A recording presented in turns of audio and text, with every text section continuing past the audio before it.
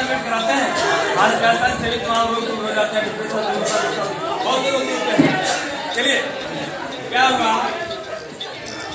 हमारे राजकुमार भैया ने मतलब है ना कहना दावत हाँ भैया। है ना दावत दी इन्होंने। तो बहुत बढ़िया। पकवान बनाए। एक हलवाई ने क्या किया? एक सब्ज़ी में मिर्चा डाल दी। और जैसे मिर्ची चाखी है ना उसमें बहुत बढ़िया भदुरा जी ने उसमें बादाम डाले पिस्ता डाले काजू डाले और बढ़िया बढ़िया और पदार्थ डाले किस्म वगैरह डाले और हे, हे, हे, हे,